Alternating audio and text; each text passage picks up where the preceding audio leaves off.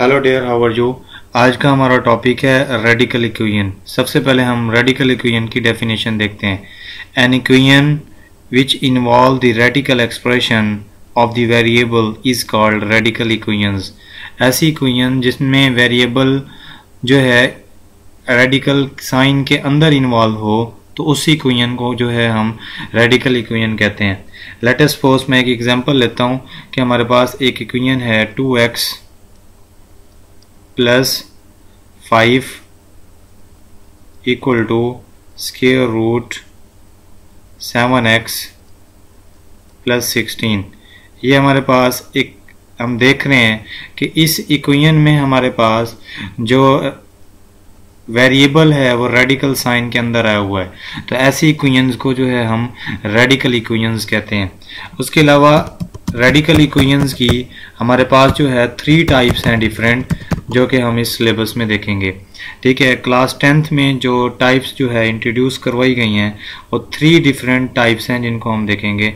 First of all जो उसकी type है, वो ये है, वो इस तरह से होगी A x plus B equal to square root C x plus D ये रेडिकल इक्वेशन की टाइप फ़र्स्ट है, जो हम इस सिलेबस में देखेंगे। टाइप सेकंड में हमारे पास जो हमें रेडिकल साइन इन्वॉल्व है। लेकिन टाइप टू जो है, उसमें ये होगा कि कंप्लीट इक्वेशन जो है रेडिकल साइन का जो है, अंदर इन्वॉल्व होगी।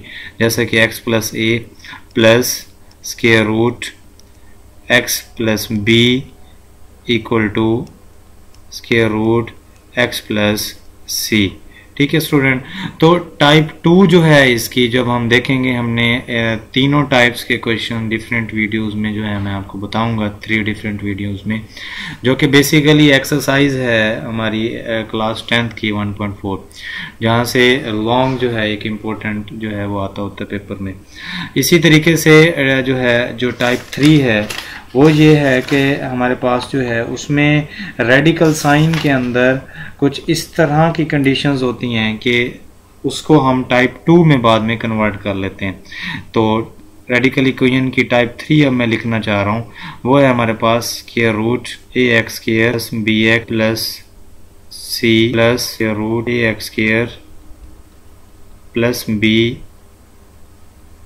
plus D equal to any constant E अगर टाइप टू को देखा जाए तो रेडिकल साइन जो है कम्प्लीटली जितने भी वेरिएबल्स हैं उन सब में यूज़ हुआ है। लेकिन हम ये देख रहे हैं टाइप वन और टाइप टू में वेरिएबल जो है वो लीनियर है। ठीक है?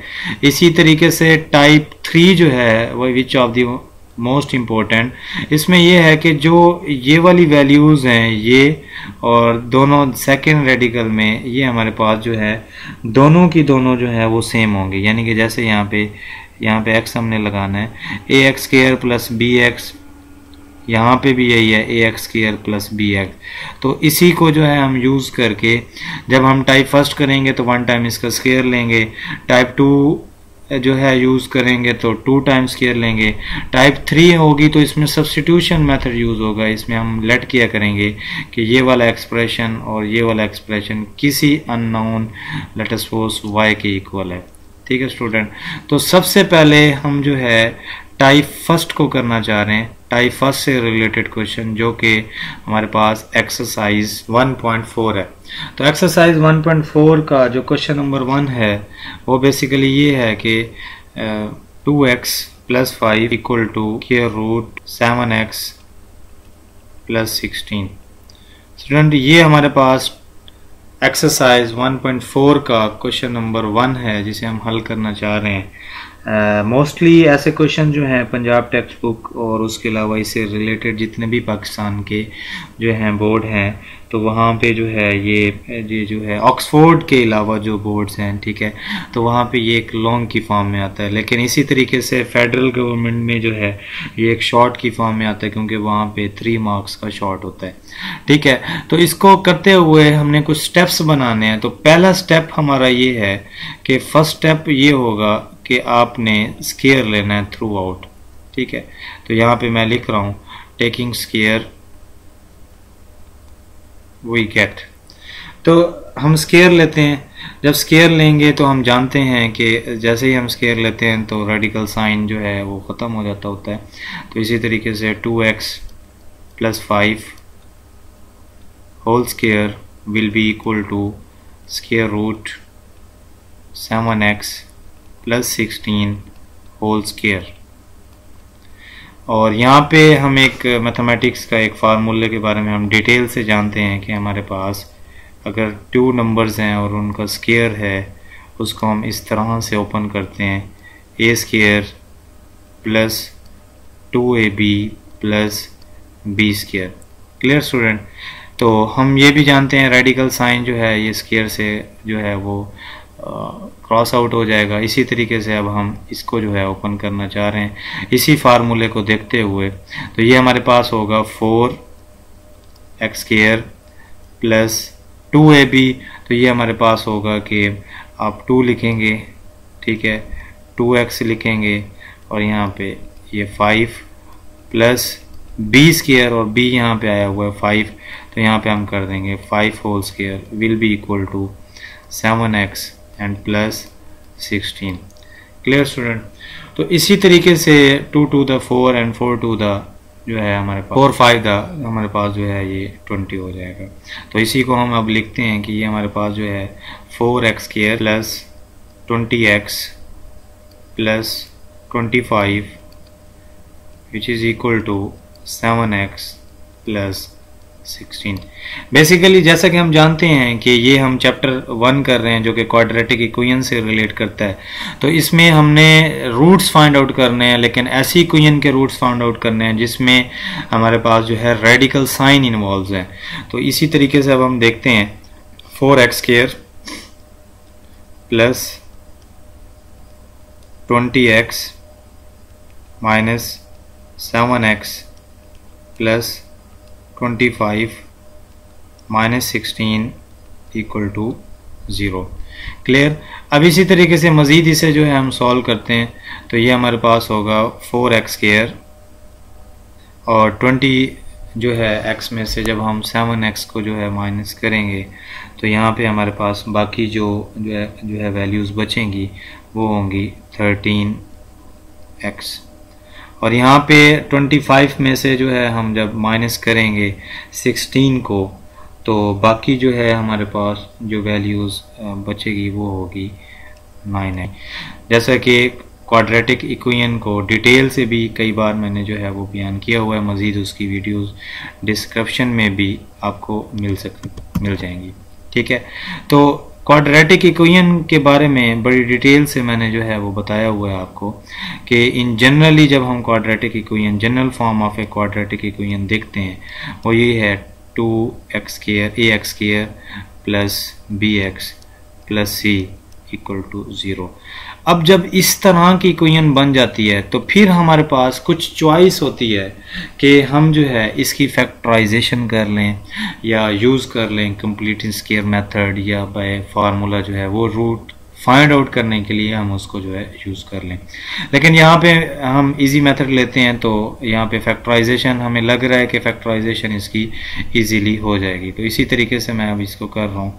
Four x square plus thirteen of x plus nine x which is equal to zero अब हम जानते हैं फैक्टराइजे फैक्टराइजेशन मेथड में हम क्या करते हैं। तो इसी तरीके से अब हम ये देखते हैं कि हमारे पास जो है फैक्टराइजेशन मेथड जब हम यूज़ करते हैं, उसमें ये होता है कि हम लास्ट वैल्यू को फ़र्स्ट वैल्यू के साथ मल्टीप्लाई करवाते हैं। यानी कि कांस्टेंट वैल्यू को जो है इस वैल्यू के साथ मल्टीप्लाई करवाते हैं। तो जो आंसर आता है, यहाँ पे आंसर आता है हमारे पास थर्टी सिक्स एक्स केयर अब कुछ टू इस तरह के फैक्टर्स जो है हम इंट्रोड्यूस करवाते हैं कि जिनको आप आपस में ऐड या सब्ट्रैक्ट करें तो ये वाला एक्सप्रेशन बनना चाहिए।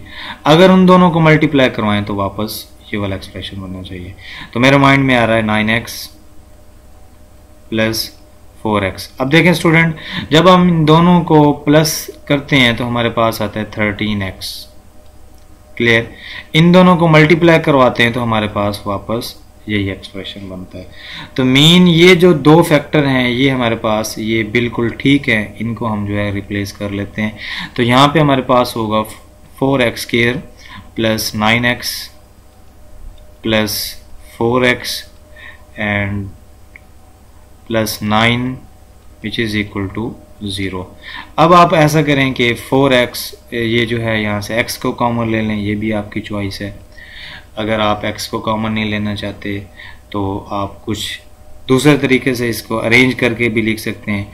Four x square plus four x plus 9x plus nine which is equal to zero ठीक है?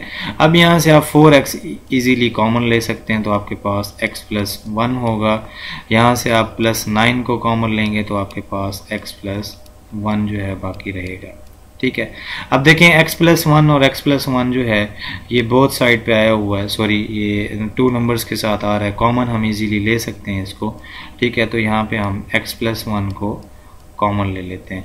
तो कॉमन लेते ही यहाँ पे हमारे पास होगा फोर एक्स प्लस नाइन अब both are equal to zero so we divide in two parts x plus one equal to zero and 4x plus 9 which is also equal to 0 so this followed by uh, x equal to minus 1 and 4x which is equal to minus 9 9 come uh, from left side to right side. okay this is also uh, followed by x equal to minus 9 over 4 so we get a two answer of the variable x. okay so our solution set is so our solution set is minus 1 and minus nine over four तो student आज के इस lecture में हमने ये देखा कि किस तरीके से जो है हम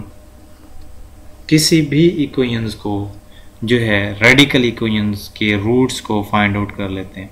ठीक है? थोड़ा सा मैं ये लेक्चर रिवाइज करवा देता हूँ। देखें रेडिकल इक्वेशंस को हम डिफाइन इस तरह से करेंगे। The equation which is uh, called radical expression of the variable is called radical equations so we have three types of the radical equation first type of the form s and second type which is formed of the s and third type which is form as ठीक है so we discuss uh, uh, mathematics class 9th exercise 1.4 which is equal to 2x plus 5 equal to 7x plus 16 uh, which is equation from radical equations. So we taking first step is we taking square on throughout. If we take uh, the squares then we get uh, this type of the expression. So we make the uh, uh, general form of the radical equations as this is second type. The uh, second step is that we uh, use the three method of solving the quadratic equation. As we know that the quadratic equation is solved by four method three methods. First as by using factorization method and second is that by completing square method and four third is that uh, by using quadratic formula. Uh, so we use uh, one of them then we get the roots of the given radical equation. I hope you will uh, uh, uh understand my lectures and i hope so um, subscribe my channel and for latest videos. Thanks for watching